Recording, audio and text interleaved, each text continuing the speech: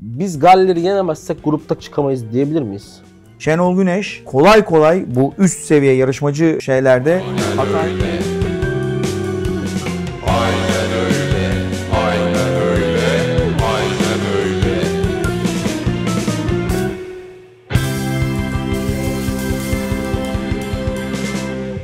Evet arkadaşlar Aynen Öyle'nin 27. ve maalesef son bölümüne hoş geldiniz. Ee, son diyorum çünkü beklenmedik bir şekilde neyse bu şeyi yapamayacağız, şaka yapamayacağız.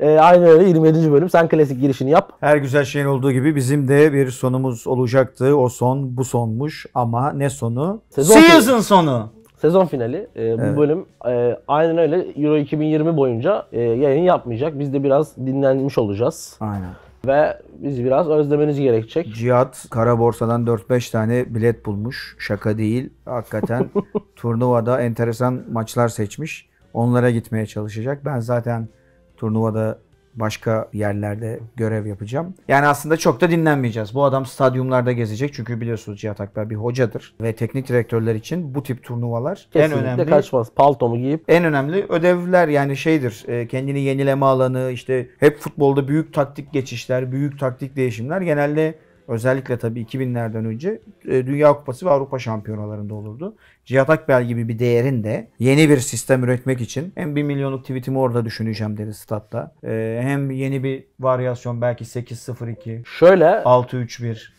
Şöyle çeşitli maçlara bilet aldım. Fakat bu pandemi, e, uluslararası e, kurallar, aşı vesaire o ne getireceğini bilmiyorum. Ama gitme niyetim var tabii. Özellikle Türkiye maçlarına, Azerbaycan'daki. Avrupa Şampiyonası'nda ben yokum her türlü. Yani piyasada da yokum. E, maçlar olmasa da e, yine kaybolmayı düşünüyorum. E, zaten bu inanılmaz teveccüh bizi biraz şımarttı. Bu şımarıklığı üstümüzden atmamız için de bize bir, Evet. bir buçuk ay gerekiyor. Bize Çünkü bir gerçekten şefkat tokadı. inanılmaz. Geçen Cihat'a bir mesaj gelmiş. Abi 26 yaşındayım. 20, 30, 30. Abi 30 yaşındayım. 29 seneyi boşa yaşamışım. Çöpte yaşıyormuşum.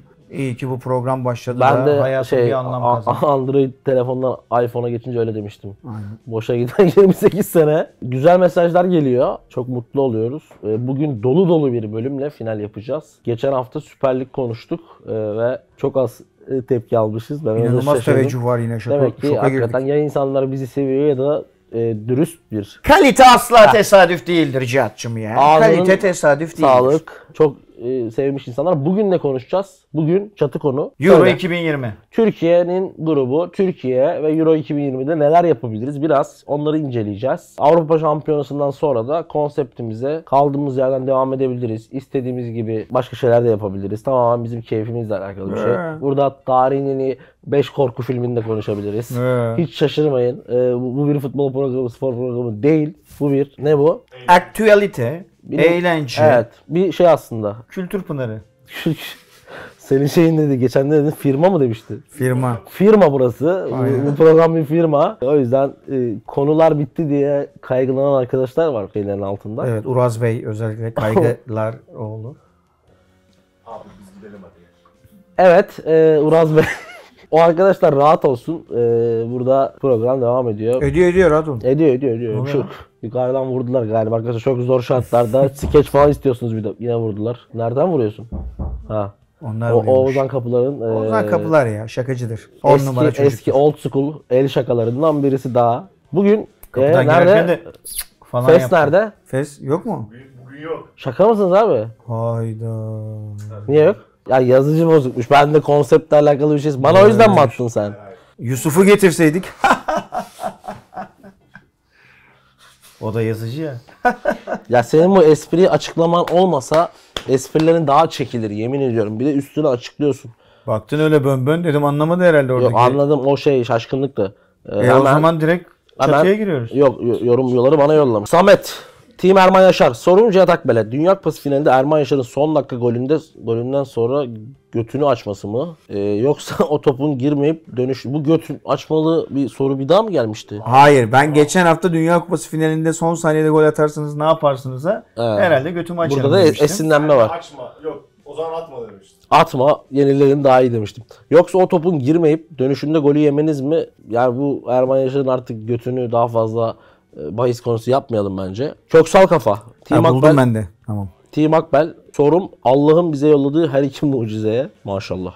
Abiler en sevmediğiniz ve nefret ederek yaptığınız ev işi nedir? Güzel bir soru. Ütü nevresim değiştirme perde Üçünü de yapmıyorum ama nevresim değiştirmeyi yani üçünü de düzenli olarak yapmasam da üçünü de yapmışlığım var. O yüzden bir yargıya varabilirim. Nevresim değiştirme berbat bir şey. Ya perde asma da berbat bir şey ama ya nevresim değiştirme o böyle içine sokuyorsun, şey yapıyorsun, giriyor, girmiyor falan. Evet, iğrenç ben hiç şey. beceremiyorum onu. Ama işte hayatında birisi olsa çok daha kolay. Sen ucundan tutar mısın aşkım? Tabii. Ucundan tutar mısın? Ama işte Ee, bulamadık ben aşkım. şey istiyorum. Ne istiyorum ya? ben paspas yapmaktan nefret ediyorum. Yani paspas ayrı bir nefret alanım. O şeyin suyunu koy, sık. Erman. Bekir Memiş. Ha pardon. Cihat Akbel hangi jöleyi kullanıyorsun dostum? Tamam. Ee, Jolly şeyde Taft galiba markası. Taft mı? Laft mı öyle bir şey var ya ondan kullanıyorum. Yok şeyi de var. Jolesi de var.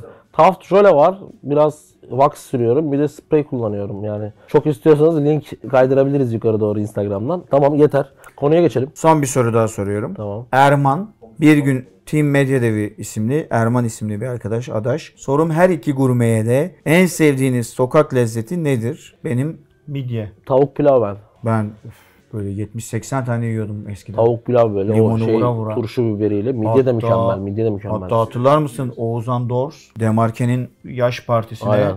Tekirdağ taraflarından, Erikli taraflarından Edirne'den. Onu ama orada bir ekip yedi onu 5-6 kişi başından kalkmadı. Aynen kalkmadı. Bir O midye kimle o piçler yüzünden biz Ben de 10-15 tane yedim. Hatırlıyorum ama-? Sen de o piçlerden. 10-15 tane yedim. Orada bir öbek vardı. Sen var mıydın orada? Delikanlı ol. Bir, bir grup orada geldi. Can miydi? Nefesoğlu vardı çıkmıyordu oradan. Bir grup geldi orada kalkma. Neyse. 125 tane falan yemiş olabilir o gece Evet Can ya. Nefesoğlu. Güzeldi. Bu Luna Parklı parti miydi o? Hayır hayır. Senin de küçük çiftlik o kardeşi. işte. Hayır. Evet abi. Küçük. Bir dakika. İkincisi Küçük oradaydı. çift. Tamam orada da vardı da. Ben İKSV'yi diyorum. Tamam, şey, Senin aklın dö- fikrin üçüncü yıl, Park'ta dördüncü yıl. kardeşi. O, o gün çektirdiğimiz fotoğraf var seninle. Evet var. Hatırladın mı? Küçük çiftlikteki şey, ha orada da vardı midye. Hikmet Karaman şeyiyle çektirmiştik. Aynen önümüzde. Toz bulut içinde. Aynen. Neyse çatı konuya geçelim. Ee, bugün Türkiye'yi, e, Türkiye'nin kadrosunu, Jeopolitik konumuna. e, sıra dağları ve sönmüş yanardağ. Bugün şey var. E, 30 kişilik kadrodan kim 4 kişi çıkacak onu konuşacağız. E, Şenol Güneş'in söylediğine göre yani zaten UEFA diyor ki 1 Haziran'a kadar herkes kadrosunu 26'ya düşürmek zorunda. Şenol Güneş de dün aynısını söyledi. E, biraz oradan 4 kişi kim çıkabilir onları konuşacağız. Gruptaki rakiplerimizi küçük bir mercek tutacağız. Ne yapabiliriz'i konuşacağız Erman Bey ile birlikte. Bey. E, tabii. Şimdi beyim oldu şekerim. Ee, Galler, İsviçre ve İtalya var grupta. İkimizin de çok hakim olduğu milli takımlar ve oyuncular. Ee, onların kadroları üstünden de biraz konuşacağız. Başlayalım abi. Şimdi ben sana bir şey atayım, top atayım. Oradan devam et. Şimdi 30 kişilik bir kadro açıklandı. Şenol Güneş açıkladı. Ee, kadroya giremeyen oyuncular var. Geçen programda da konuştuk seninle. İşte Adem Muhammed özelinde. Bu çok eleştirildi. İnsanlar çok konuştu. Salih. Salih Uçan. Ee, onun dışında Caner Erkin ve Emre Kılınç var ve çok anlayamadığım Serdar Dursun. Yani Müthiş bir sezon oynuyor. evet ama sonuç itibariyle turnuvalar biraz şey ya. e, Bildiğin takımlar gitme. bildiğin oyuncular işte mesela Dorukan'la Mert'in mesela kadroya alınması, Mert Günok'un alınması biraz eleştirildi. Onlar mesela elemelerde oynayan oyuncular. Elemeler bundan iki buçuk sene önce yapıldığı için biraz unuttuk oraları. Ne diyorsun? Kadroya bir kere ne diyorsun? Ya benim Salih dışında dışarıda kalan yani şöyle Serdar Dursun gerçekten çok etkileyici bir sezon oynuyor ve hakikaten çok et- e, iyi de bir yere gidebilir bu performansla daha da ilerleyen dönemde. Daha iyi dediğin bir üstlük değil mi? bir üstlük olabilir. Çünkü Türkiye'de yaşı, evet yaşı geç biliyorsun 29 yaşında. Evet evet. Ve hiçbir şekilde ne Ümit Milli ne alt gruplarında ne de bizim milli takımda hiç bahsi bile geçmedi bu son sene hariç. Daha iyi yerlerden kastım Bundesliga'da orta sıra takımları falan olabilir ya da işte Beşiktaş, Fenerbahçe e, ilgilenebilir yani bugün e, Beşiktaş'ın Fenerbahçe'nin kadrosunda böyle bir oyuncu. Doğrudan ilk 11 olmasa bile uzun maratonda ciddi kullanılabilir. E, Caner en çok tartışılan iki isimden biri oldu bence Salih'le beraber. Bu da doğal bir şey çünkü Salih mükemmel bir sezon oynadı. Hatta biz e, Aynen. en iyi 11'imize de aldık. Aldık. Evet ufak bir sakatlık geçirdi ama turnuvada oynamasını etkileyecek bir sakatlık sakatlık değil. değil. Kendisi de açıklama yaptı zaten. Ee, ben antrenmanlarıma da başladım ve e, çok üzüldüm. Arkadaşlarıma başarılar diliyorum ama turnuvada oynayabilirdim diye. Caner ya Salih'e ben performanstan dolayı şaşırdım. Salih'e performanstan dolayı şaşırdım. Bu performansta bir oyuncunun ben e, 30 kişilik bir kadronun içinde olmamasına şaşırdım. Caner'e performanstan değil, Caner'e de ilk dediğin şeyden dolayı şaşırdım. Çünkü Caner öyle ya da böyle Şenol Güneş'in son maça kadar hem elemelerde hem Dünya Kupası elemelerinin başlangıcında orada burada bir şekilde kullandığı bir oyuncuydu. Caner'i almamaya mesela Şenol Güneş değil. Şenol Güneş Allah göstermesin bir rahatsızlıktan dolayı ben görevden ayrılmak zorunda kaldım dedi. Takımın başına da Löw geldi. Löw açıkladığı kadroda Caner'i almasa ben hiç şaşırmam mesela. E, Çünkü bence Caner performans olarak özellikle de sol bek pozisyonunu kotarabilecek bir oyuncu değil. E, çok hücumcu bir oyuncu. Yani, evet. e, Ha, işte- önde konumlandırmak istiyorsanız Ama o- orada da olmuyor. Mesela yıllardır deneniyor bu. Caner bir şekilde önde oynanıyor. Yani ben e, Aykut Kocamanlı Fenerbahçe'nin Caner'den çok iyi verim aldığını hatırlıyorum. Avrupa Ligi'nde yarı final oynadığımız sezonda. Onun dışında Caner bir sol bek olarak ki hiç sevmem ve tasvip etmem. Frank de Boer Inter'e Inter'e Mancini Caner'i aldıktan sonra bu adam sol bek değil ki deyip Caner'i hiç oynatmadan neredeyse e, gönderdi. E, bu arada Frank de Boer'u tasvip etmiyorum. Bence berbat bir teknik direktör, hoca. E, çok hiç beğenmem. E, ama öyle bir şey var hakikaten. Yani belki wingback oynayabilir. Yani üçlü savunmanın o da onun içinde beki. sanki belki biraz yaşlanmış. O da o, o kadar büyük alanı Yani ben Caner'in kariyerinin çok iyi takımlarda oynadı tabii. Ee, Daha iyi bir yerde bitmesini ya da devam etmesini isterdim. Biraz karakteri bunu engelledi. Biraz da gerçekten dediğim gibi sol bek ama gerçekten hani bu kadar kötü savunma hatası yapan yani geriye dönüşler Beşiktaş'ta da çok sıkıntılı şeyler yaşadı. Yani doku- bugün fena bu sene Fenerbahçe'de gerçekten geçen programda söyledim Mustafa Muhammed gibi bir adam olsaydı Caner'in asist sayısı iki katına bile çıkmış olurdu ya da daha efektif oynayabilse. E, ama Caner sol bek e, ben yine de e, yine de Umut ve Caner'i alırdım. Rıdvan'ı çok seviyorum ama sanki Caner bir yerde girer dedi senin dediğin gibi. Yani Caner e, benim de demin de söylediğim gibi Şenol Güneş'in e, kullandığı bir oyuncu olması ve bu tip turnuvalar genelde teknik direktörler demin işte Dorukan örneğinde de verdiği gibi ben Dorukan'ın hala çıkabileceğini de düşünüyorum Bir bu de şey kadroda. değil mi abi turnuva tırnak içinde biraz kaşar oyuncuların alanı ya. Aynen. Yani e, o açıdan da ilginç buldum. Yani bir Caner'in orada olması ruhsal olarak adam çünkü gerçekten deli. Yani Caner'in biraz deli olduğunu da düşünüyorum. Tecrübesi de var. E tabii ki. Aynen, yani ama sanıyorum- Caner dediğin adam 16 yaşında Rusya'ya gitmiş bir adam. Sanıyorum Umut Meraş'la oynayacak. Rıdvan'ı da çok fazla kullanacağını düşünmüyorum ama işte Rıdvan'ı da belki e, Kadrodan ma- çıkarır mı? Sence çıkarmaz değil mi? Yok çıkaracağını Şimdi- zannetmiyorum. şimdi- Ben oraya da gelelim. Ben Gökhan Akkan'ın kesin çıkacağını düşünüyorum. Ha şey kaleci olarak Gökhan mı çıkacak diyorsun? Bence Gökhan çıkar. Burada bir şey sorabilirim Caner'le alakalı. Mesela Burak'ı en iyi tanıyan bence isimlerden birisi Caner Erkin. Ee, Burak Yılmaz'a çok büyük etkisi olmaz mı? Ya Burak- bu Burak- performansı. Çok iyi tanıyor diye evet e, ya, savunmayı bu kadar zafiyete uğratan Abi oyuncu. Muhammed Mustafa örneği verirken ya onu şey için verdim. Ya ha- havadan düşen Eyvallah. top bana ondan bahsettim. Forvet özelliklerinin iyi olması. şu Bu- an çok zirvede ya Burak. Ama yani Türkiye milli takımı şeye ihtiyaç duymamalı. Caner'in ortalarına falan ihtiyaç duymamalı. Öyle Aynen. bir şeye ihtiyaç duyarsak işin içinden çıkamayız. O yüzden bir manası yok yani. Ki yani kaç tane golü bu son dönemde başarılı maçlarda Caner'in ortasıyla Evet yani kazandı ki. e, yani. zaten Emre geldikten sonra ortaların sayısı epey azaldı. Aynen. E, neyse Gökhan Akkan. e, Gökhan Akkan 4 kaleciden Gökhan mı çıkar diyorsun? E, Ben- Mer- bence- Mert'i çıkaramaz çünkü elemelerde Mert oynadı full. E, herhalde Uğurcan birinci kaleci. E, Altay'ı çıkarırsa bedavadan şey yaşanacak. E, ya bedavadan gerginlik olacak. Gökhan Akkan çıkar. Gökhan Gariban olacak ki bu çok iyi bir sezon geçirdi. Ama dediğimiz gibi geçen konuştuk Türkiye'de inanılmaz kaleciler var. Bak Erman abi siz hepiniz Avrupa'dan bütün ligleri takip ediyorsunuz az çok. Bu kadar iyi kalecinin olduğu bir lig yok. Var mı? Yani evet Türkiye son... Premier Lig dahil söylüyorum. Ya Premier Lig'de çok üst, üst düzey kaleciler var ama hepsi İngiliz değil. Usta kaleci. Evet evet bizimkiler yerli. Ha, yani ondan bahsediyorsun Tabii tabii. Ersin de şey gider zaten %99 bu sezon. Uğurcan. Ersin'e 10 milyonlardan Ersin bahsediliyor. biraz kalmalı bence. Ee, şimdi şimdi Doğan var Kayseri'deki. Geçen program aldığını zikretmemiş. Unutmuşuz eve gidince fark ettim. Göztepe'nin kalecisi var İrfan Can. Ee, İrfan Can, Eğri Bayat. Doğan 18 yaşında inanılmaz. Kayseri Spor bugün ligde kaldıysa ki ligin en az gol atan takımı e, en az gol atan takımını ligde tuttu. Öyle hatırlıyorum. Çok iyi kaleciler var. Kaleci konusunda bence çok uzun yıllar rahatız. 20 yıl, 30 yıl. Verelim 4 oyuncu. Gökhan'ı Biraz çıkarttık. hızlanalım. Ee, 29 bence. kaldı. Ben Halil'in çıkabileceğini düşünüyorum. Şimdi şimdi santrafor rotasyonumuza Akbunar'ın değil. Dervişoğlu. Ya, şimdi santrafor, santrafor rotasyonumuza bakalım. Enes, e, Burak, Kenan ve Halil değil mi? Evet. 4 kişi var. Şimdi Enes hava hakimiyeti olan e, daha e, yardımcı oyuncu rolünde ki son Dünya Kupası elemelerinde de bu ne kadar özel bir şey olduğunu gösterdi. Çok eleştiriliyor. Ben Enes'in bu kadar eleştirilmesine anlam veremiyorum. Sen ne diyorsun abi? %100 katılıyorum. Bir kere mesela ben sosyal medyada falan da gördüm. Enes kesin çıkar, Enes çöp falan diyorlar. Ben inanılmaz şaşırırım. Hatta yani imkan ihtimal vermiyorum. Çıkmaz. Çok yani resmen şey olurum. İntihar olur. Hayır hayır yani ben de büyük bir şey olurum. Bir de- Eğer Enes Ya çıkarsa abi bu şöyle sözlerine. düşün. Şöyle tut. Çünkü abi birincisi yıllardır Avrupa'da oynayan bir forvet. Ne olursa olsun La Liga, işte Hollanda'sı, şu su bu su falan filan. 35 Oraların milyon euro ödenmiş bugüne kadar bonservis bedeline ve 23 Ve- yaşında. Ve yani evet tamam hani yani Lille'de 20 gol atmadı ne bileyim hani çok büyük bir takıma gidip oralarda çok büyük işler yapmadı ama ben bu sene birkaç tane maçını da anlattım. Yani iş işine yarayabilecek bir forvet ki Türkiye'nin o bölgede özellikle Cenk Tosun'un da sakatlığıyla beraber Oyuncusu yok. ciddi anlamda Burak haricinde oyuncusu kalmamışken Enes'i kadroya almamak gibi bir lüksü yok. Aynen. Ha, Enes'i kadroya alırsın kötü oynar o ayrı konu ama Enes'i kadroya almama lüksü yok yani. Burak Allah göstermesin. İlk maçta bir şey oldu. Kenan Karaman tam forvet mi? Yardımcı oyuncu. Yine Müller e, stili bir oyuncu. Başka bir şey kalmıyor elinde. E, evet. yani Enes'i almazsan. Şimdi orada 4 tane oyuncu var. Birisi çıkacaksa o Bence Halil çıkar. Bence değil kesin Halil çıkar. Eğer hazırlık maçlarında çok ekstra şeyler yapmazsa bir hazırlık maçı şey serüvenimiz olacak. Buradaki herkesin tek sıkıntısı neden Adem yoktu?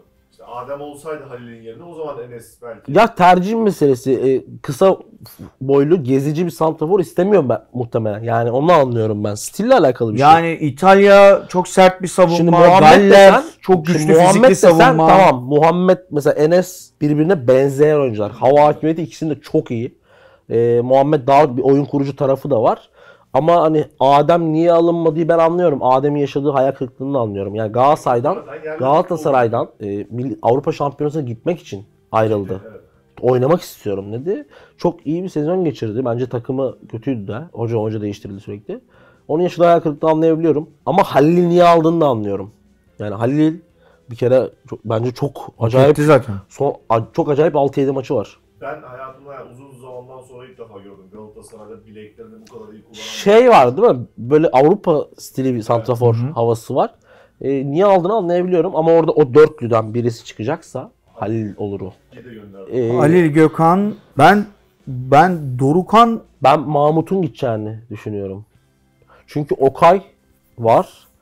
E, Taylan var. Taylan var. E, Ozan Tufan var. o zaman hani biraz daha ön desek. Ozan Bak şimdi- Tufan kesin kalır. Yok var. yok şimdi, şimdi onlara bir şey olmaz. Şimdi gitmeme şey, ben garan. Ben oynadığı sezon itibarıyla e, hocanın evet has adamlarından biri Beşiktaş'ta beraber de kısa bir süre çalıştı ama Kimle? Dorukan.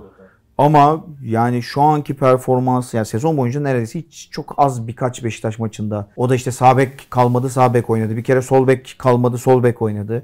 Birkaç maç sonradan girip orta sahayı yedekledi. E, ama yani çok az oynadı sezonu. Yani bu performansıyla evet hocanın tanıdığım, oynattığım oyuncu düşüncesi var ama ben Dorukan'ın da gitme adaylarının başında geldiğini düşünüyorum. Şimdi şimdi şöyle bir şey var. Bence Mahmut gidecek.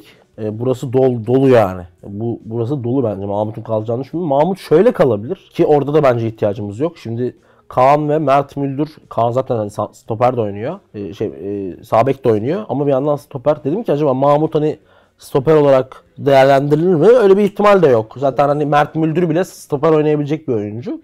E, o yüzden Mahmut'un gideceğini düşünüyorum.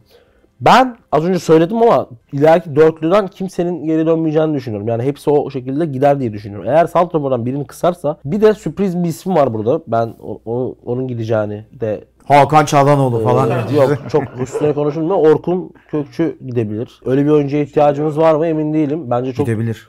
değil mi gidebilir. Yani iyi, iyi bir oyuncu. Yani iyi- son maçlarda da çok Hollanda'da çok iyi Sürpriz oynuyor. bir isim deyince baba bir topçu bekliyorum. Yok, o kadar değil. Çalhanoğlu falan. Şimdi- Burak, Burak Yılmaz abi yoruldu sezon boyunca liglerde. Şimdi Gökhan Akkan bence de gitti. Şimdi ben kendikileri söyleyeceğim. Defanstan kimsenin gideceğini düşünmüyorum. Yok gitmez bence. Ee, Rıdvan falan hepsi kalacak. Bir Abi Rıdvan'ı gönderdin diyelim. Umut Meraş ilk maçta sakatlandı. Kim o? Ben mi oynayacağım aynen, işte Kaan'ı atman lazım ya da Mert'i atman lazım. Olmaz. Bir Gökhan Akkan. iki Mahmut Tekdemir. Üç Orkun yapacağım ben tahminimi risk alıp. Ee, Oyuncuların hepsi seni izliyor şu anda. Orkun gidi. Yani burada nasıl ben ben Orkun'u şu yönden göndermezdim. Türkiye milli takımını seçen bir oyuncu.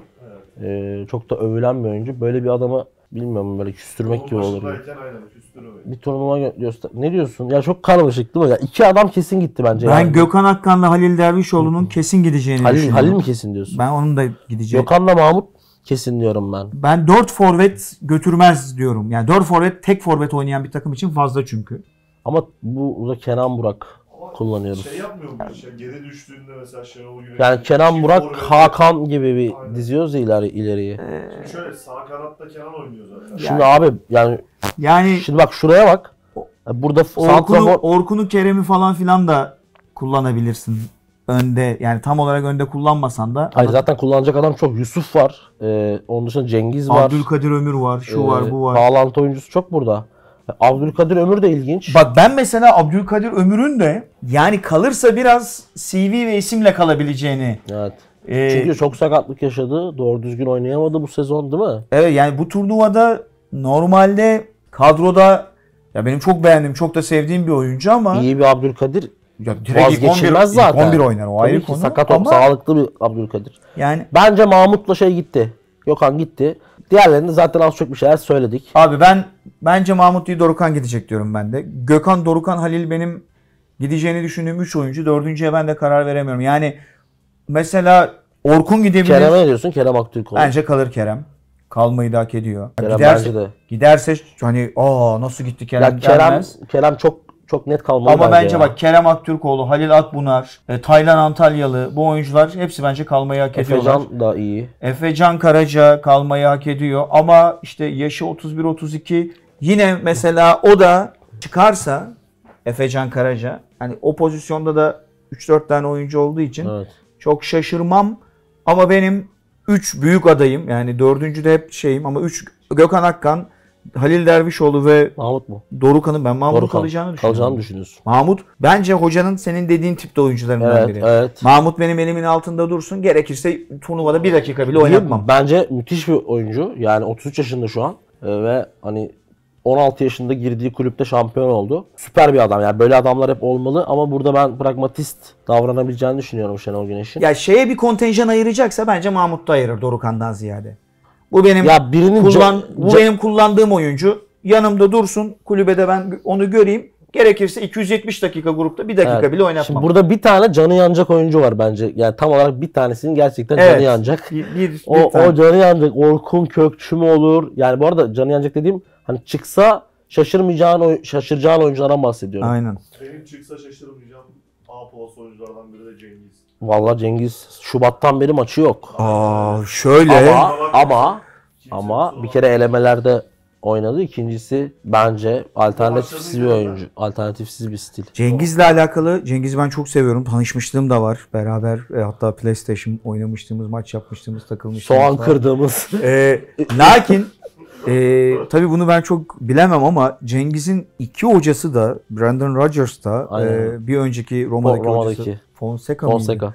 E, ikisi de Cengiz'in çok e, çalışmayı sevmediği, çok iyi profesyonel olmadığına dair açıklamalar yapıyordu ki dün Jamie Vardy e, ben Cengiz'e bayılıyorum. İnanılmaz bir yetenek ve daha oynadığı ilk iki maçta sonradan girerek bana gol attırdı. Ama yani çok çalışması lazım. Çok e, azimli, çok istekli olması lazım. Onu pek göremiyorum onda gibi. Bir açıklama yaptı.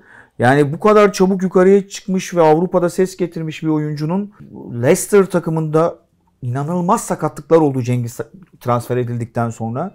Ona rağmen düzenli forma şansı bulamaması. Yani gitti 17-18 yaşında çocuk oynattı. Oyuna dahi giremiyor Ha, diyorum. Brandon Bak Şubat'tan Rodgers- beri oyuna giriş yok ki. Hepsinde yedek kulübesinde. Brandon Rodgers yeri geldi B takımdan 2-3 oyuncu aldı kulübeye. Bir iki tanesine süre verdi 17-18 yaşında. Yine Cengiz'de oynatmadı. E Brandon Rodgers da gerizekalı değil yani. Bugün Premier Lig'in en iyi teknik direktörlerinden biri. Bir de- Adam Cengiz'den bir şeyler Bir de kazanabilecek. oyuncu üstüne de şey bir adam yani. Aynen. Özellikle Yani niye kendisine kötülük yapsın? Yani Cengiz e, öyle ligi dangır dungur oynayabilecekse. Onlar hep soru işareti yaratıyor. Ben Şenol Güneş'in Cengiz Ünder'in ismine, e, kalitesine son bir e, güzellik yapıp bu turnuvaya da alacağını düşünüyorum. Ben bence çıkmaz. Ya bir de Ama şey Cengiz var ya. için tehlike çanları Cengiz çalıyor. Türkiye milli takımı ilişkisi de çok güçlü yani 25 Aynen. 26 maçta neredeyse 8-9 tane gol attı. Ee, sana katılıyorum bu noktada ama gerçekten Cengiz de çıksa ben şaşırmam. Ben de şaşırmam. Şimdi abi az çok kadroyu üstüne Vallahi Cihat'cığım lafını bölüyorum ama bunca yapım seyrettim. YouTube'da seyrettim, sağda solda seyrettim, televizyonlarda seyrettim. Böyle derinlemesine Türk milli takımının analiz edildiği bir program görmedim yani ne yalan söyleyeyim gördüyseniz siz söyleyin. çok çok uzun tutmamak karşılıklı için referanslar. detaya girmedik ama iyi bir sohbetti bence de. Şimdi Devam bir- edeceğiz. Evet arkadaşlar biraz milli takımın kadrosunu konuştuk. Şimdi rakipleri biraz konuşup sonunda da milli takım maçlarda ne yapar bağlayıp kapatacağız programı. Dediğim gibi bu geçen de oldu. Saatlerce konuşuruz. Herkes konuşur. Çok konu var. Bir toplamak istedik. Şimdi birinci maçımız rakibimiz İtalya. Şimdi ben bir girizgah yapıp sana fırlatayım topu. Her zaman gibi. Şimdi Mancini takımın başına geldiğinden beri ki onlar çok büyük bir ayak kırıklığı yaşadı son Dünya Kupası'nda biliyorsun turnuvaya gelemediler. Ki ben dünya gözüyle İtalya'nın olmadığı bir turnuva hatırlamıyorum. Dünya Kupası. Dünya Kupası. Hatırlamıyorum değil mi? İlkti. Ben de hatırlamıyorum. Ha, e, İsveç Toka'da vurdu. Ventura'nın İtalya'sı İsveç'le ki İbrahimovic İsveç'te 1-0-0-0'la turnuvaya gelemedi ve İtalyan futbolu düşüşü belgelemiş oldu bence. Hani zaten takımları Avrupa'da bir şey yapamıyordu vesaire. Milli takım da çökmüş oldu. Sonra Roberto Mancini orada çok beklenen bir isim değildi. Şey konuşuluyordu. Allegri vesaire konuşuluyordu. O geldi başına takımın başına ve geldiğinden beri herhalde İtalyan milli takımı çok renkli günler geçiriyor. Takımın şeyi değişti bir kere. İskeleti ve oyuncu tipi değişti. Diğer takımlara benzemeye başladı. Böyle kısa, ayağı iyi pas yapan oyuncular vesaire derken Mancini geldiğinden beri bir resmi maç kaybettiler Portekiz'e. O da ikinci maçı galiba. Bir de hazırlık maçında Fransa var. Onun dışında tüm maçları Tokat. neredeyse kazandılar. Ki şeye baktım dün. e, Roberto Mancini kariyerindeki en iyi puan ortalaması şu an bu milli takımda. Dediğim gibi az önce söylediğim gibi Barella, işte Sensi, Gagliardini gibi böyle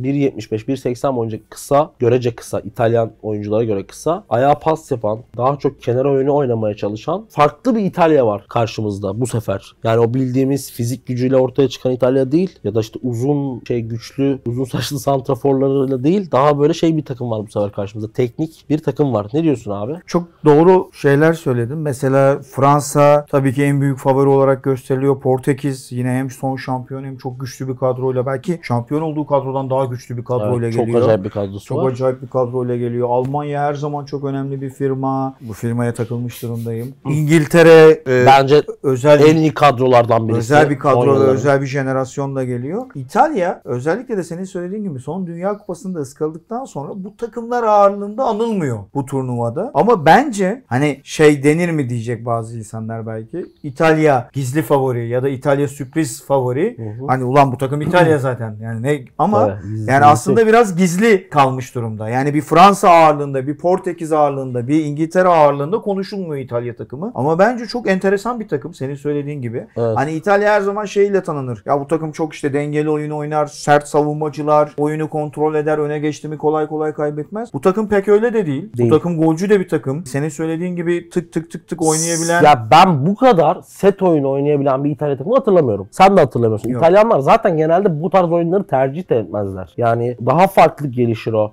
Yani bugün şu an kadro önünde Verratti, Barella, Pellegrini, Cristante, Locatelli, Sensi, Pessina ve Castrovilli var. o kadar çok teknik Hepsi yani yere yakın. Aynen çok geniş bir kadro açıkladı Mancini 35 kişiye yakın. 7-8 kişi kadrodan çıkacak ama şeyi anlatıyor alınan oyuncuların hepsi. O İtalya'nın artık topa bastığını ve oyun kurduğunu. Bu açıdan ya şu takımı al mesela sallıyorum şu an tamamen. Makedonya'ya koy. Makedonya turnuvanın gizli favorisi dersin. Aynen. Öyle bir kadro var. Ki Immobile ve Belotti gibi iki çok acayip santrafor var. Her an her şeyi yapabilecek. Burada Federico Chiesa öne İyi çıkıyor. sezon geçirdi. İyi sezon geçirdi. Biraz dengesiz de Moiskin bence şeyin birinci forveti olmadan PSG'de bu sene çok iyi bir sezon geçirdi. Onunla kadroda kalacağını düşünüyorum. Insigne her zaman Insigne'dir. Bernardeschi bence bu 33'te buradan uçacak adamlardan birisi. Domenico Berardi Sassuolo'yla uzun yıllardır çok iyi oynuyor. Hala Sassuolo'da ne işi var onu da bilmiyorum. Muhtemelen orada onu çok mutlu ediyorlar. Benzer bir şey Belotti'de de var. Torino Belotti. Torino bütün parayı Belotti'ye vererek küme düşeceklerdi neredeyse. Yani İtalya'nın en çok para harcayan, al- maaş veren 6. kulübü falan. Yani Torino, Belotti vesaire. Hücum hattı böyle. Bakayım başka kim var? Politano. Çok iyi sezon geçiriyor. Burada sürpriz bir isim. Sassuolo'daki Giacomo Raspadori. Ee, izleyenler bilirler. Müthiş bir yetenek. Kısa boylu. Çok enteresan bir santrafor. Ben biraz Oliver Neville'in ilk hallerine benzetiyorum. Bayer Ee.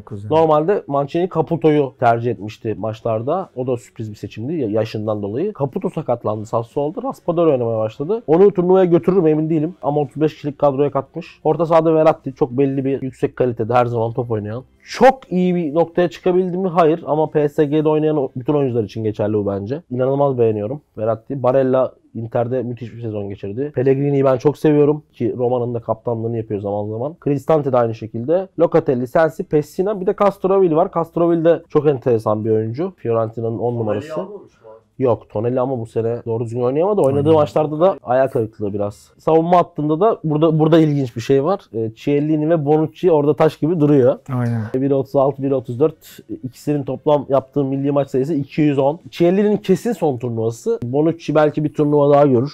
Bilemiyorum ki zaten Bir bir, sene sonra bir sene sonra oynanacak. Chiellini'ni sanmıyorum. Ee, Kalede de Donnarumma oynayacak. Evet. Burada Sirigu milli takım alınmaya başladı tekrardan ki çok acayip bir sezon geçiriyor. Atalanta'dan Toloi var. Bunun kadroda kalacağını düşünmüyorum. Brezilyalıydı zaten aslında Tola'yı. Brezilya genç Aynen. milli takımlarında oynadı. Ben onun e, Brezilya U20'de mi ne anlatmıştım. Yanlış söylemeyeyim. Belki 19'dur o dönem çok U17, U19, U20 anlatıyordum ve bayağı beğenmiştim. Sonrasında ilk o çıkışı yapamayıp Atalanta ile beraber tekrardan önemli bir oyuncu konumuna geldi ve Brezilya'ya seçilmediği için de şimdi İtalya'ya seçildi. Ama kadroda kalır mı kalmaz mı ben de emin değilim. Ya İtalya şu- açıkçası bu grubun İtalya, Türkiye, Galler, İsviçre grubunun kadro olarak da isim olarak da şey olarak ya algı olarak da en güçlü takımı. Ben Türkiye ile İtalya arasında inanılmaz büyük bir uçurum olduğunu düşünmüyorum. Türkiye'nin hem Fransa'nın olduğu yani bu bu turnuvaya geliş eleme grubundaki performansı ve Fransa maçlarının oynayış şeklinden hem de sonrasında Dünya Kupası elemelerine başlangıç şeklinden dolayı Hollanda ve Norveç maçları her ne kadar sonra biz yine derede boğulmayı başarsak da Türkiye kendi gücüne yakın takımlarla da daha iyi oynayabilen, e, çok iyi konsantre olabilen bir takım. Ben İtalya ile Türkiye arasında böyle çok büyük bir fark olduğunu düşünmüyorum ama yani grubun en iyi takımı kim derseniz bence ya birçok insan İtalyalar taraflı tarafı. Ya biz elemelerde mesela özellikle ikinci Fransa maçında mesela golü yedikten sonra attığımız gol çok sürpriz bir goldü. Ve aslında ben Türk milli takımının bu tip durumlarda çok başarılı olabileceğini düşünmüyorum. Golü yedikten sonra özellikle. Fransa örneği biraz bence şeydi. Sürpriz bir örnekti. Çok şansa bir gol attık orada. Mert o maç Fakat E, şey abi yani şöyle mesela şu İtalya'ya baktığım zaman abi şunu diyorum. Şimdi burada savunma üçlüsü muhtemelen şey olacak. Chiellini Bonucci'nin ilk 11 oynayacağını düşünmüyorum ikisinde. İkisi zaten bu sene doğru düzgün problemler yaşadılar sakatlıkları falan. Burada Mancini, Bastoni ve Bonucci oynayabilir ya. Bonucci evet oynayabilir ama sağlıklı olacak mı? Burada Rafael Toloi de bence tercih edilebilir. Olabilir ama ben Ama Bonucci'nin şimdi burada Bonucci ve Chiellini'nin ikisi sağlıklıysa zaten e, aşağıdan bir stoper uçacak. Ama Mancini ile Bastoni kesin oynayacak. Ondan eminim. Ya bu takım mesela bu Barella, Verratti ayağında çok top tutan bir takım bu bir noktada. Biz mesela bu takımdan gol yediğimiz zaman ciddi şekilde bir sıkıntı yaşayabiliriz. Çünkü biraz öne çıkmaya başladığımız zaman Immobile gibi bir oyuncu olacak yemeyeceğiz orada. zaman. E, Evet yani yemememiz lazım onu söylemeye çalışıyorum. İlk maçta ilk golü yemememiz lazım açık konuşayım. E, bu takım bize problem yaratabilir. İtalya'yı geçelim abi. Geçelim. E, şeye gelelim. İsviçre mi? Galler'e gelelim. Şimdi Galler'de bir kriz var. Yine girişi yapayım sana atayım. E, Ryan Giggs takımın Chris Coleman'dan sonra ki Chris Coleman'ın Galler'i biliyorsunuz Euro 2016'da yarı final mi oynamıştı Portekiz'de? Yarı final oynadı. Yarı Portekiz'le final elendi. 2-0'ın. Tarihlerin en büyük başarısı. Evet e, o zaten hani Galler o jenerasyonun biraz devamıyla geliyor ki Gareth Bale gibi yıllardır tartışılan bir yıldızları da var. Ryan Giggs diyordum. Ryan Giggs geldi Coleman'dan sonra ki başarılı da bir grafik çizdi ama Ryan Giggs inanılmaz bir futbolcu olmasının yanında ve bunu söylemekte hiç beis duymuyorum. İğrenç bir insan ki bunu defalarca kez kanıtladı. 8-9 sene kardeşinin eşiyle yaşadığı yasak aşk, sonradan bir ton kriz vesaire derken turnuvadan bir süre önce şey patladı. Eski sevgilisi ve eski sevgilisinin kardeşi mahkemeye gidip darp, cinsel taciz, şiddet vesaire gibi e, Ryan Giggs'i şikayet ettiler. Hatta 3-4 gün sonra da duruşması falan da var. E, Ryan Giggs gözaltına şey tutuklandı, kefaletle serbest bırakıldı. Galler Futbol Federasyonu da dedi ki e, turnuvaya gitmiyor. E, iddialar ya da işte mahkeme bitene kadar. Ve Robert Robert Page miydi? Robert Page. Yardımcısı Robert Page olacak. Yani turnuvada bir teknik direktörleri yok- aslında. Şöyle yok. Bir lider o başlarında olmayacak. Robert Page ile oynayacaklar. O ya- şeyin yardımcısı Giggs'in. Şimdi bir kere abi dediğim gibi e, Galler, Kuzey İrlanda, İrlanda, hatta İskoçya bunlar şey takımlar. Ada takımları ve hepsinin birbirine benzeyen özellikleri var. Sert takımlar, uzun boylu savunma oyuncuları, atletik atletiklikten biraz uzak kalan hücum oyuncuları gibi. Fakat bu takımların yıllardır yaptığı en iyi şey takım halinde iyi savunma yapmak. Yani en büyük özellikleri bu hikayeleri bu. Ne diyorsun abi? Bir Gareth Bale bu sene biraz Tottenham'da biraz kıpırdadı ama genel olarak hani bir faktör oyuncu mu hala orası soru işareti. Kıpırdadı ama en son yaptığı açıklamalarda takımda kalmak istemediğini kiralık olarak ve Real Madrid'e dönmek istediğini, Real Madrid kontratını da bitirdikten sonra emekli olacağını. Ee, şu anda Real Madrid istemiyor aslında Gareth Bale'ı. Kimse istemiyor. Evet. 3-4 yıldır yatan bir adam zaten. Evet yani daha çok golf oynuyor. Ama Galler milli takımı maçlarında biraz daha kulüp takımı performanslarına oranla yani oraya hissettiği aidiyetten Bir de şey ya oranın tek yıldızı ya. ya artık tek yıldızı mı emin değilim. Çünkü ya şöyle tabii ki en Star, büyük yıldızı. star yok abi. Evet Onu yani söylemek Aaron. Ramsey falan Değil. Yani mesela Harry Wilson mesela iyi oyuncular var ya ama Daniel James evet. iyi oyuncu. Kiefer Moore iyi bir santrafor ama yıldız star dediğin zaman Gareth Evet Bale. Gareth. Ya, tabii yok. Gareth Bale çok farklı bir seviye. Yani prime'ında çıktığı seviye işte yani 100 milyonluk transfer yapan bir Tabii. oyuncuydu. Ama yani şu anda mesela o takımda Gareth Bale'dan daha iyi olan ya da bence daha iyi olmaya aday oyuncular var. Daniel Joe. Rodden bu sene Jose Mourinho'nun şans verdiği dönemde bence Tottenham'da çok iyi maçlar çıkardı savunmada. Ben Davies zaten e, çoğu kişinin bildiği oldukça iyi bir oyuncu. Ethan Ampadu Chelsea altyapısı Chelsea'de çok kısa süre oynadıktan sonra iki kere kiralık gitti. Bu seneye son ligden düşen Sheffield'da kiralıktı ama muhtemelen Premier Lig'de kalacaktır. İyi oyuncu. Ben E, Davis var. Ben Davis evet demin söyledim zaten Ben Davis'i. Aaron Ramsey zaten konuşmaya gerek yok. Orta sahadaki en büyük yetenekleri. Harry Wilson senin de söylediğin gibi e, genç en önemli oyuncularından biri ve Daniel James. Ben Daniel James'i çok fazla sevmiyorum ama Galler'in senin söylediğin oyununa çok hizmet eden bir oyuncu. Evet, evet. Yani mesela Hı. sen demin bahsettin İtalya'nın oyunundan. Mesela İtalya'nın oyununda falan aşırı sıratabilecek. Türkiye'nin oyununda aşırı sıratabilecek. Belli teknik yetenekleri falan topla ilişkisi sıkıntılı bir oyuncu. Ama Galler gibi üçlü savunmayı arkaya koyup oyunun büyük bölümünü kendi yer alanında karşılayıp ilerideki hızlı oyuncuları Wilson'a, Bale'a, James'e top atan takımlar için geniş alanda İdeal. hızıyla, e, sprintleriyle ideal bir oyuncu. Manchester United da zaten Solskjaer'de genelde o tip oynamaya, oyun oynamayı düşündüğü maçlarda Daniel James'i kullandı bu sene. Çok fazla ilk 11'de oynatmadı. Yani her oyuncusu tehlikeli oyuncu ve şöyle bir şey var. Ne olursa olsun bu takımın %80'i Premier Lig'de oynuyor. Aynen. Yani Premier Lig'de %70'i %80 yani Premier Lig'de oynamayanlar da e, Championship'te Ya, oynuyor. ya Premier Lig'de oynamayanlara Premier Lig'de bir şekilde ya oynamış ya gelmiş. Ya da Championship'te. Ya, evet ya da Championship der ki Championship zaten az önce anlattığım teknik şeyin aynısını karşılıyor. Yetenek olarak kesinlikle İtalya'nın Türkiye'nin gerisinde. Organizasyon olarak Yetenek olarak turnuvanın bile alt, Evet. alt tarafında duruyor olabilir ama bu onların çok önemsediği bir şey değil. Ha 2016'da da öyleydi çünkü. zaten. Evet. Ama Ha, yarı final onu oynadılar. diyorum. Aynen yani öyle. 2016'da dünyanın en yetenekli takımı değildi bu adamlar. Değildi. Ama orada çok Ee, daha diri bir Gareth Bale vardı. Aynen. Ama organizasyonu güçlü bir takım. Savunmasından güç almaya çalışacak. Ya Galler gibi takıma karşı golü erken bulmak, oyunu 0-0'da çok fazla tutmamak, Aynen. ele ele katiyen yenik duruma düşmemek lazım. Çünkü Ee, maçı uzakta alıyorlar yani. Uzattığın Aynen. anda late game win, winner bunlar Yani hepsi. Türkiye şöyle 15. 20. dakikaya kadar bulabileceği bir golle Galler şeyini, sorununu Çözer. beklenenden daha kolay çözebilir ama Galler'e karşı öbür türlü her türlü sıkıntı yaşarız. Evet, e, ben de şunu ekleyeceğim e, sadece. Şimdi bu İngiliz futbolu dediğimiz yani ada futbolu dediğimiz oradaki 5-6 ülkeyi içine alıyorum. Yıllardır bir şey problemi yaşıyorlar ya. Atletik oyuncu mesela ilk defa İngiltere milli takımı İngiltere şu andan bahsetmiyorum. Son 4-5-6 senesinden bahsediyorum. Bu kadar teknik oyuncuya sahip. İşte Sterling gibi, belki Foden gibi. Aklıma şu an gelmiyor. Jack Grealish. Heh, Jack Grealish. e, şimdi İngiliz takımları Hatta Madison. ya İngiliz takımının en teknik oyuncusu Paul Gascoigne'di eskiden ama o da hayvan gibi herif. Onu söylemeye çalışıyorum. İşte Glenn Hoddle vardı bilirsin sağ açık.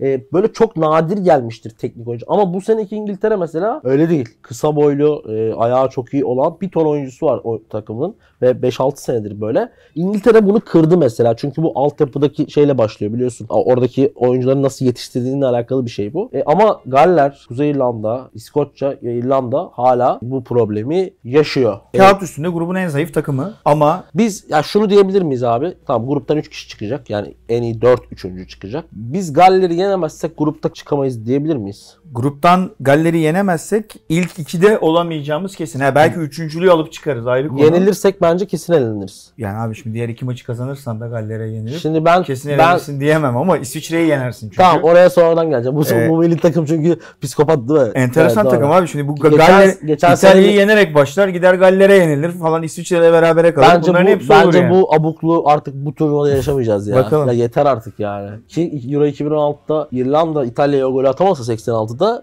Yine gruptan çıkıyorduk. Çek Cumhuriyeti'ni yenip son maçta. Galler kısaca böyle. Kadroya baktığımız zaman da e, dediğimiz gibi şeyin altında kalıyor. Diğer rakibimiz gruptaki maçların sıralamasıyla bu arada devam ettik. İsviçre grupta son maçımız 20'sinde Bakü'de oynayacağımız maç. Cihat Akbel de tribünde İnşallah tribünde olacağım Türk maç. bayramıyla Santra'ya doğru koşacak. 5. dakika gol Yusuf Yazıcı 1-0. Bir bakacağız Cihat Akbel sonra yaka paça. Çırılçıplak. Şimdi bu rakibimiz İsviçre Tanıyalım. milli takımlara oranla alışılmadık bir duruma sahip. O da şu. Yani aslında 2-3 kategori var ama ben en önemlisini Vladimir Petkovic 8 senedir bu takımın başında. Çok rastlanmaz yani. Löw var. Döşamp sanırım bayağı oldu. Var mı başka?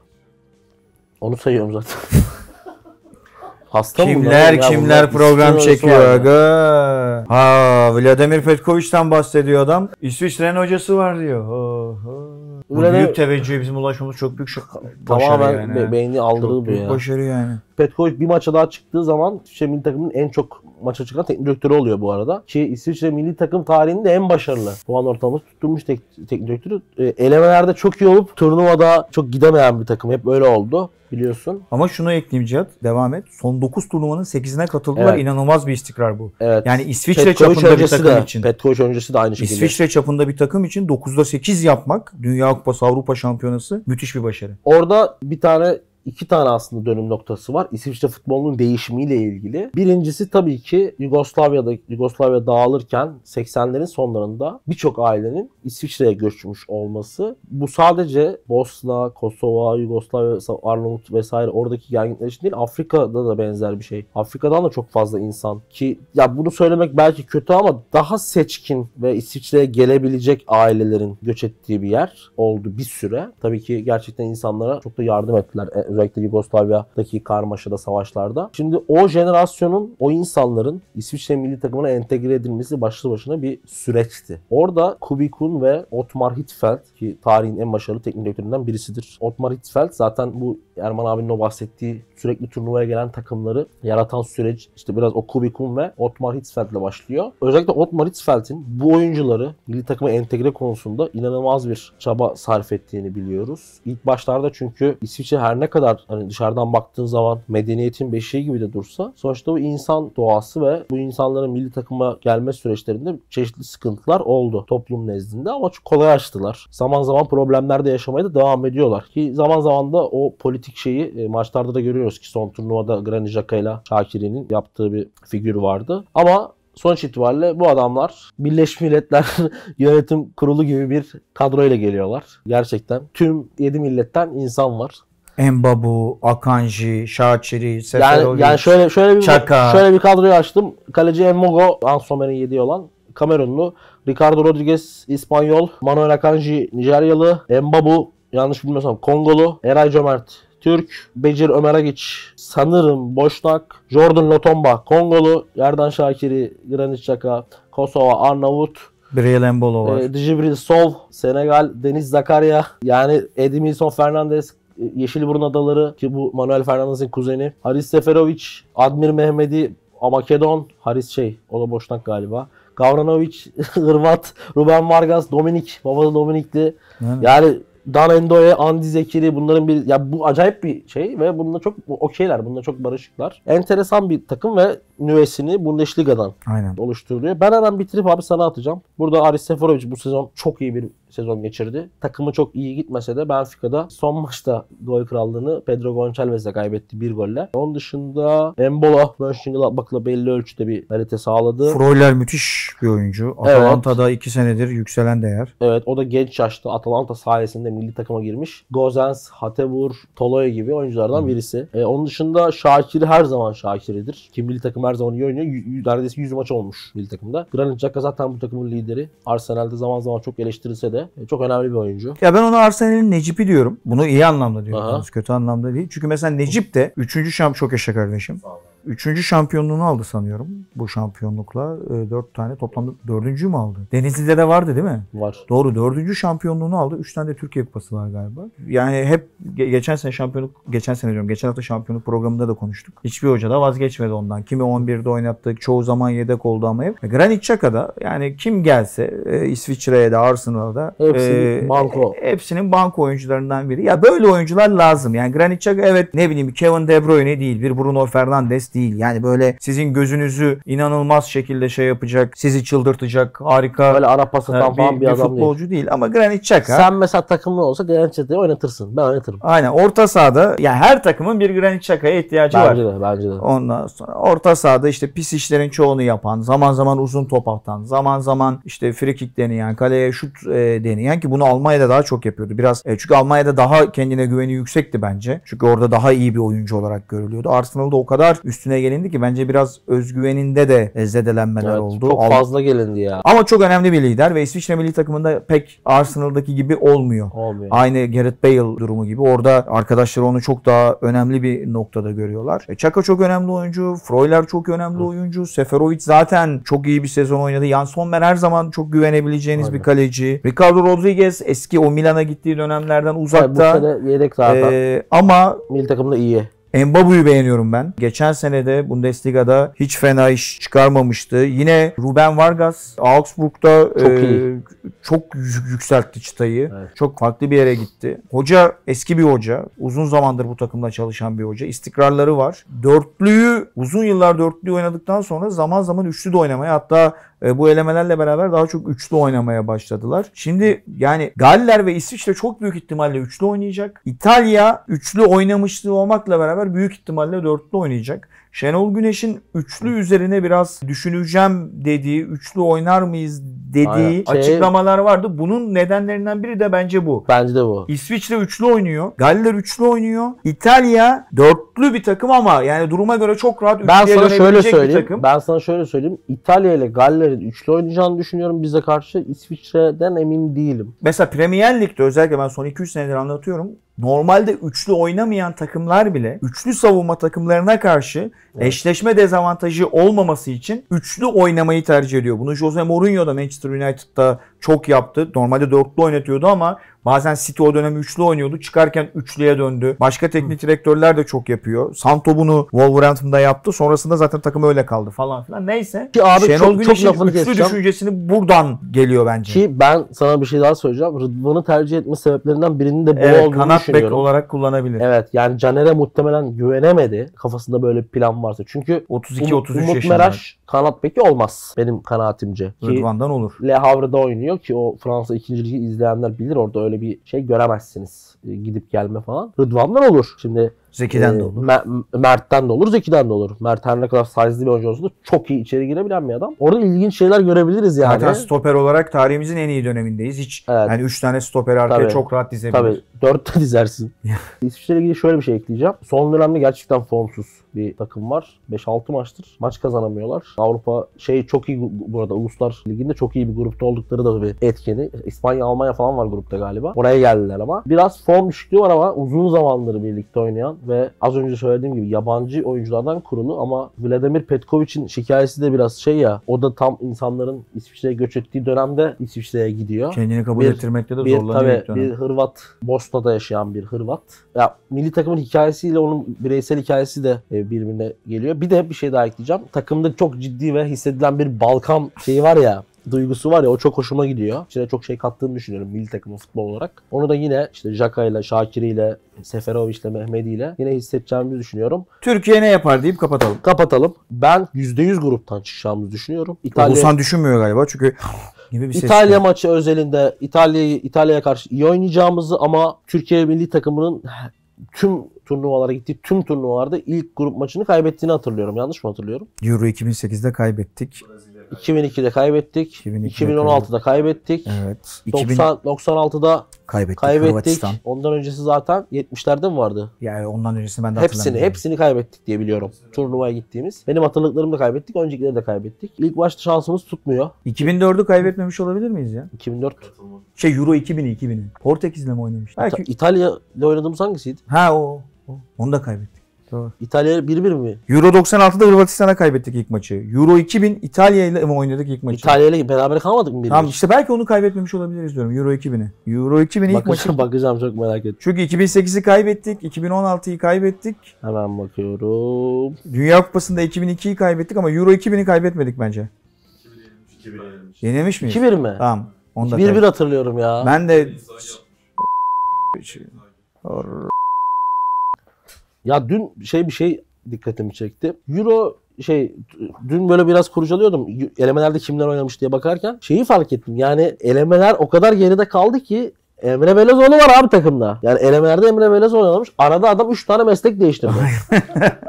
neredeyse kulüp başkanı olacak. yani biraz daha turnuva biraz daha gecikse başka bir şey yaşayacak. Başkan olacak değil mi? Evet ya unuttuk yani geçen de konuştuk zaman algımız da yamuldu. Şimdi abi ben tahminimi yapıyorum. Puan tahmini de yapacağım. Skor da yapacağım. Belki sonra hepsini cuk diye tuttururuz. Paylaşırız. 5000 fav alırız. Yani nereden geleceği belli olmaz bu işlerin. Ben bir Twitter emekçisi olarak. Şimdi İtalya maçına skor ve tahmin yapacağım. İyi oynayacağımızı düşünüyorum. 2-1 kaybedeceğimizi düşünüyorum. Türkiye Galler 2-0. Türkiye İsviçre 2-1 Türkiye. Ben biraz gollü konuştum ama Ya ben öyle skor falan veremem. Hiç becerebildiğim şeyler de değil, adetim de değil ama şunu söyleyeyim. Bu grupta sanki günaha girdik amına koyayım. hayır hayır ondan. Bu grupta kaybedersek bence İtalya'ya kaybederiz. Yani o anlamda adamın Yorumun kralı. Hayır.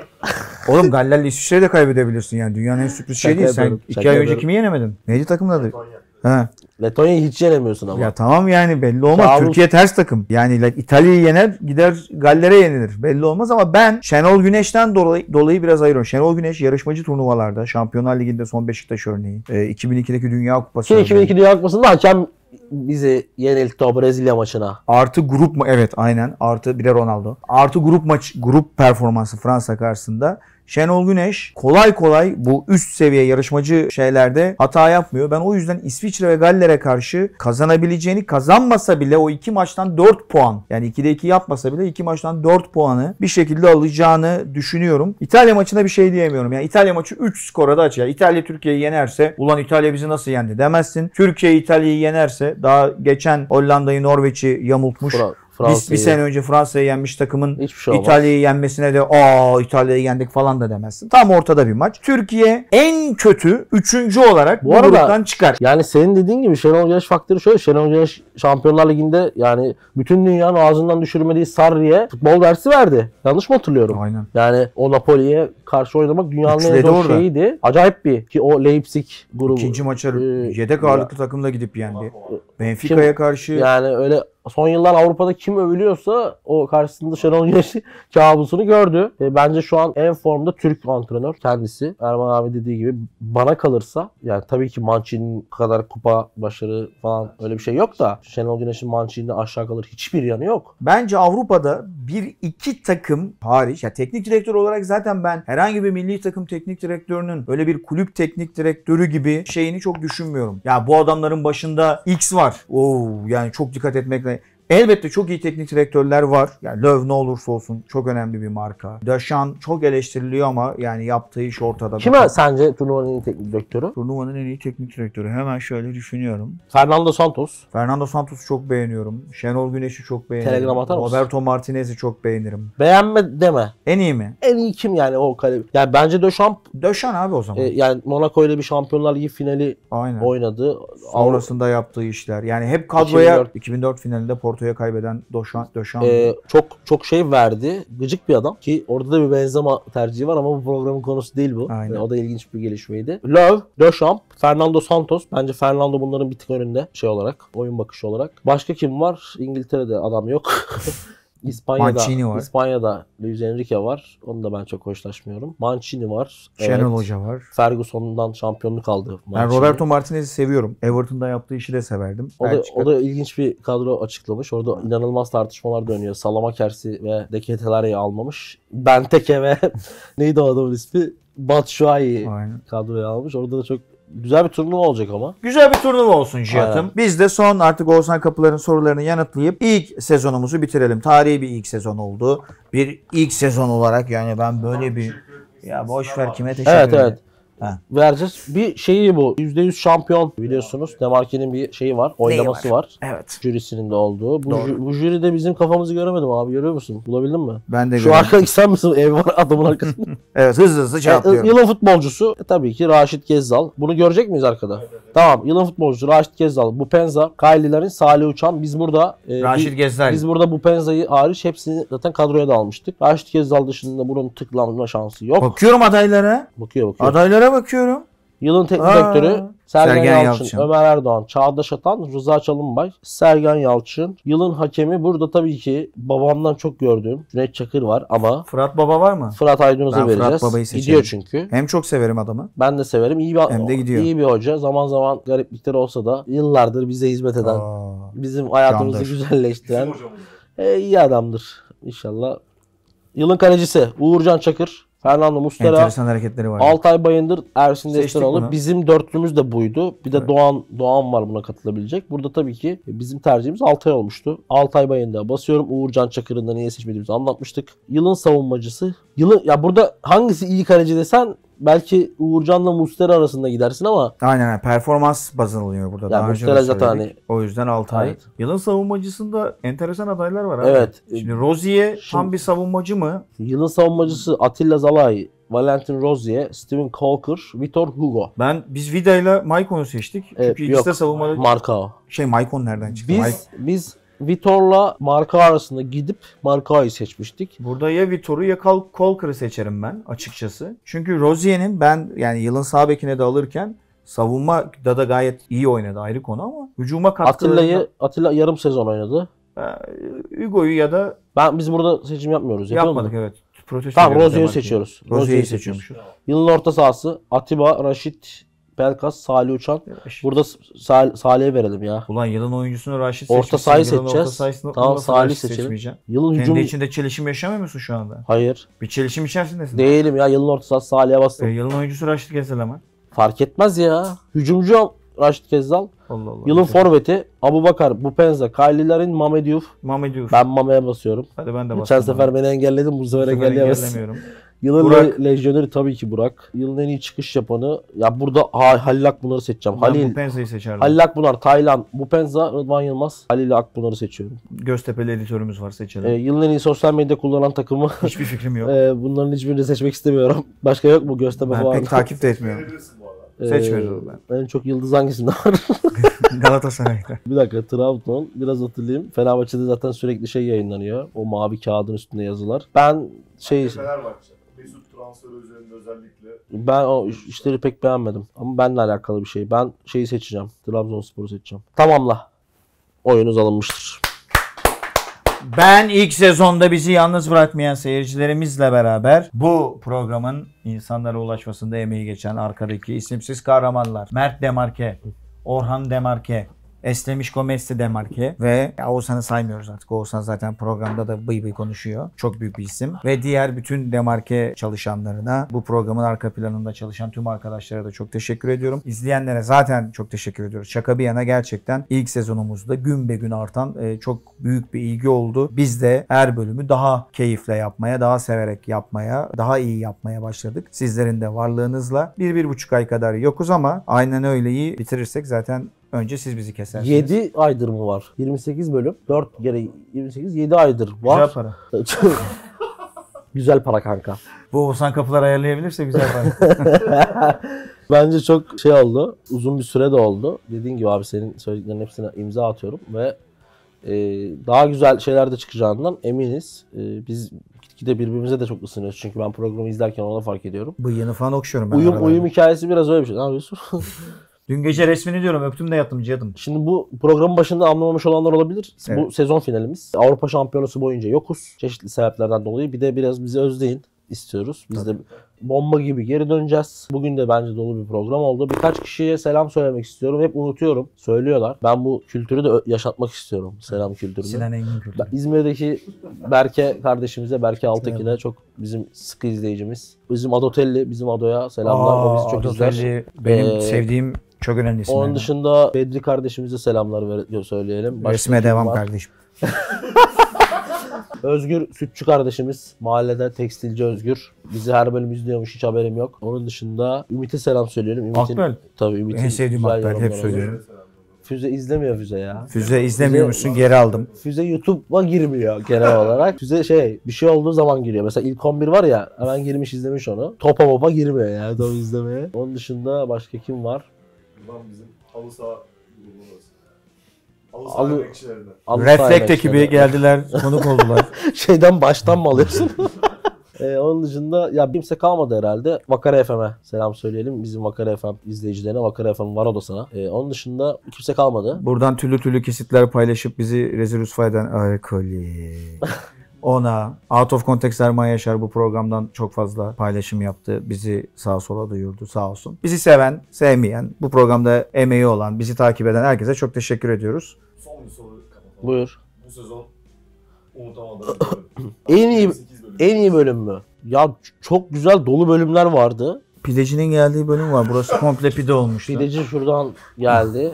Herhalde 28 bölümde kadraja giren tek insan o pideciydi değil mi? Aynen. Onun kolu, kafası falan bir şeyler girdi. E, Şey çok komikti. O pideleri mideleri koydu buraya. Biz arkada o gün garip garip insanlar da vardı anlamadım. Aynen ben. o bölüm O tam bir enteresan bir... O berbat bir bölümdü mesela. Hadi. Yani kusura bakmayın arkadaşlar da burada arkada hiç tanımadığım 3-5 kişi var. Pideci giriyor. Pideci her şeyi koydu abi. 2 dakika sonra geldi bir de turşu koydu. Bunu unutmuşum diye. O bölüm Top bölümünün ilk 15 dakikası top bir türlü başlayamadı. Yanmayan. Evet, Yayınlanamıyor. arkadaşlar top bölümü ben yorumları okuyunca çok şey vardı. Aa nasıl gülmemişler. Yani Erman Yaşar hiç öyle Doğru. olmadı. Bak ben o bölümde ilk 15 Senin dakika. 5 numaranda ne var kardeşim? Bende sen varsın falan diye Evet başlayan. öyle, öyle şey- şeyler oldu. Ben hatta 30. dakikada falan kalkıp gittim. Çok sinirlendim. Çünkü arkaya da çok sinirlendim. Bir şey diyor oradan bir kahkaha geliyor. Sonra Çok o- zor çekildi O o bölüm. bölüm çok zor çekildi. Bence. 4 numaramda sen varsın. Yılbaşı. Evet. Ne evet. yaptık lan yılbaşında? Ben de, Ha tamam şeymeyi taktık. Hikayeler falan, Amerika hikayeleri falan. Aa güzel evet. benim sarı saçlarımla deli gönlümü bağladığım skeç seni kovaladığım o da çok iyiydi. Evet, Kırmızı Vene- kart gördüm. Venezuelalı hikayem vardı. Vay. Venezuelalı kadın değil mi? kadın neydi o? O değil oğlum. Seni kovaladım diyorum lan. Alman hoca olup. Ha o skeçlere de devam edeceğiz. Öyle. İkonik anların iki bölümü de çok iyi. Dolu dolu. Onun üçünü de, onun üçünü de yapacağız. İyi ya genel olarak. İyi. Bunları 28 tek seferde izleme fırsatı şu an yazın. Bunları tek seferde yayınlayacağız arkadaşlar. tek parça olarak komaya sokma garantili. Artık Ee, bitirmemiz gerekiyor çünkü gerekiyor. benim de dediğim gibi 30 Bırakamıyorum be. 30 ne yapacağız? e, kız arkadaş adayını 26'ya bildirmem için Instagram şey yapıyor. Bu 26 kişiyi alalım diye. Hatırlatayım. Erman Yasar'ın Instagram adresi Erman Yasar. Twitter adresim yine Erman Yasar. Telegram Erman Yasar. Şey şey Erman geldi. Yasar. Ay, Androidçiler geldi şeye bir- biraz hareketlendi ama neydi lan? Clubhouse ama Ayağa eski kalkmaz. tadı yok. Ayağa kalkmaz. E, bunun dışında ver canım. Boş ama şöyle şuraya Ya koyalım bir şimdi an. bu feshe hediye etmeyelim mi ya bu bölümün sonunda? Etmeyelim Ha? diyorlar çünkü o 30 lira bu ya. da- da- dalgayı sokup çıkartıyormuş. Alırsın bir tane. Alırsınız abi bir tane fesaneden ya. Oğlum verelim lan bunu. Vermeyelim mi? Manevi değeri var. Manevileri mi? O, onu biz müzeye kaldıracağız. Zaten müzelik olmuş. Arkadaşlar verdirmiyor. Size bir şey veremiyoruz. Yapacak bir şey yok ama Ee, ikinci ba- sezon ilk bölümünde acayip bir şey vereceğim. Babayı sana. aldınız şu an. Çok güzeldi her şey. Ee, ikinci Sen, sezonda sen, sen konuş. Ben bir fon müziği gireceğim. tamam. Demarke YouTube kanalına daktilo almayı unutmayın. Demarke YouTube kanalına abone olmayı unutmayın. Aynen öylenin altına. Tüm bölümlerin altına yazabilirsiniz ama özellikle son bölümün altına bu bir, bir buçuk ay boyunca yeni sezonla ilgili isteklerinizi de yazmayı unutmayın. Cihat da ben de sizi çok seviyoruz. Kendinize çok iyi Görüşmek bakın, üzere. Görüşmek üzere. Aynen öyle.